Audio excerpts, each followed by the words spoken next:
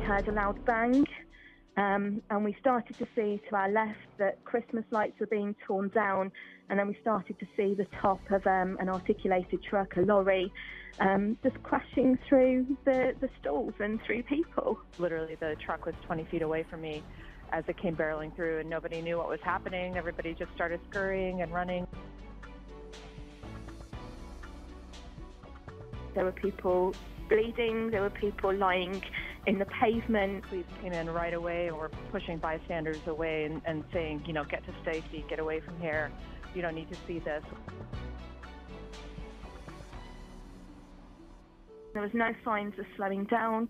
It, it didn't look, it didn't feel like it was an accident.